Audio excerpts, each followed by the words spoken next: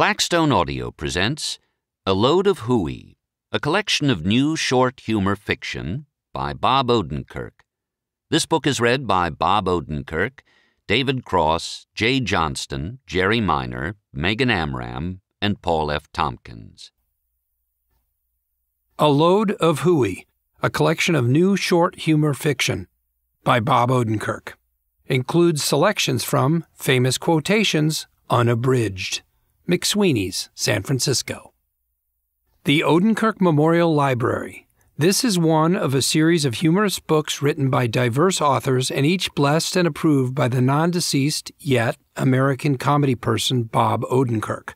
Volumes in the OMI include satire, cartoons, black humor, gentle humor, and total humor, and they cover a broad range of subject matter, united only in their tendency to provoke laughter and warm feelings of distraction.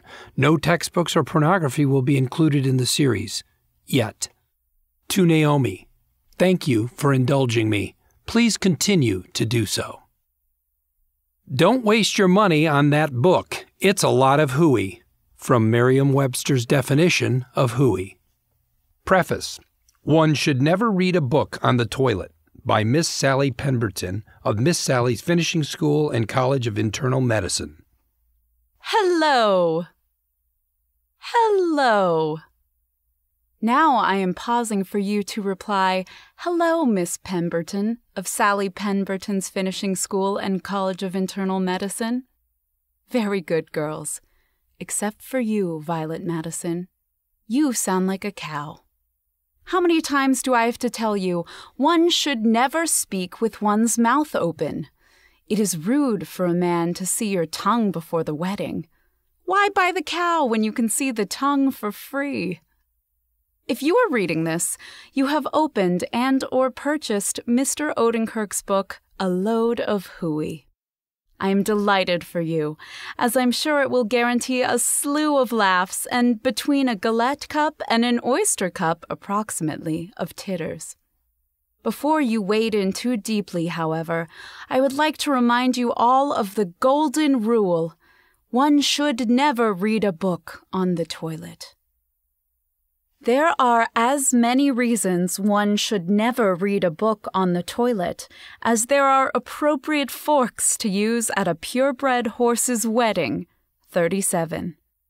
Posture may be the most important. There are appropriate postures for both reading and for defecating, and neither is compatible with the other.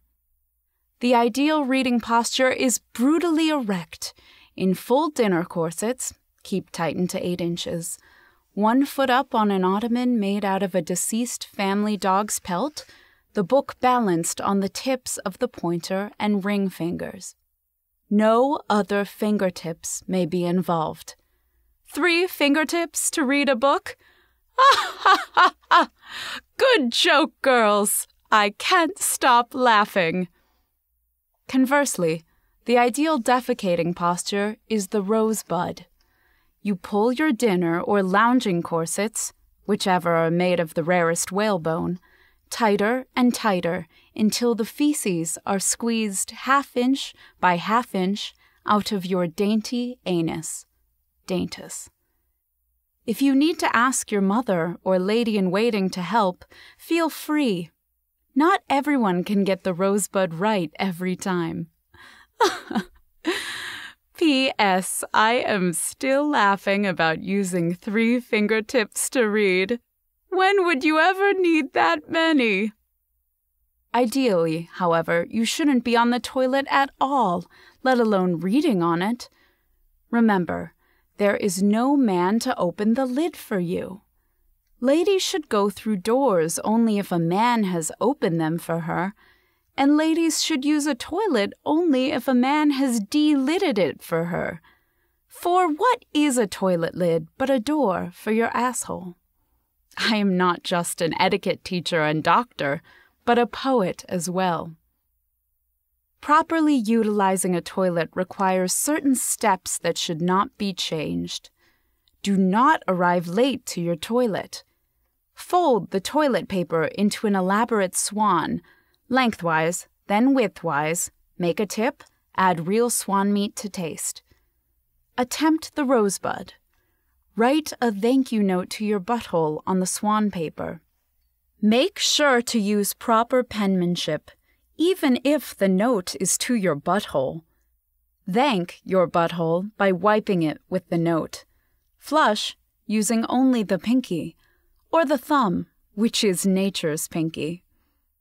Now, I am usually more than a little distrustful of sending my girls to traditional physicians, i.e., people who have not graduated from my school of internal medicine.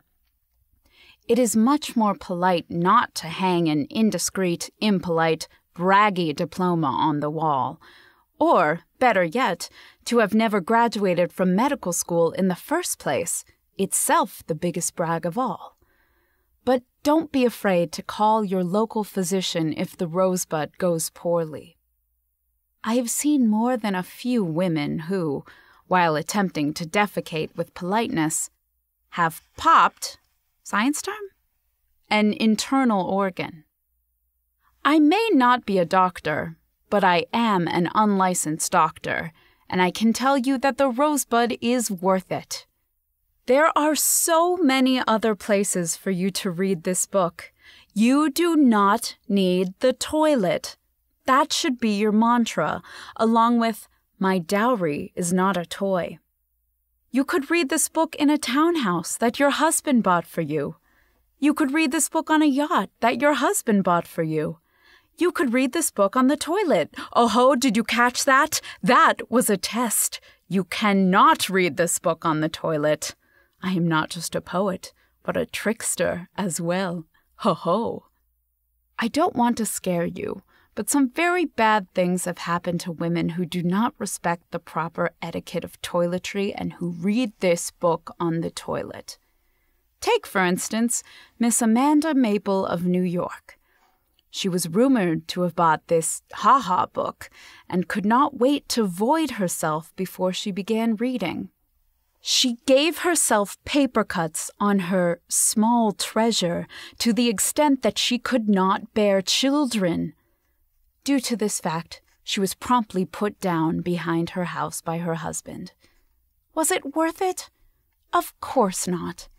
She didn't even get to the good part of the book, pages 32 to 36. Etiquette is a beautiful thing.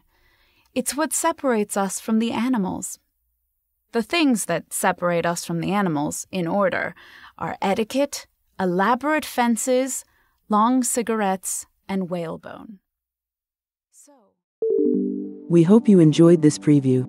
To continue listening to this audiobook on Google Play Books, use the link in the video description.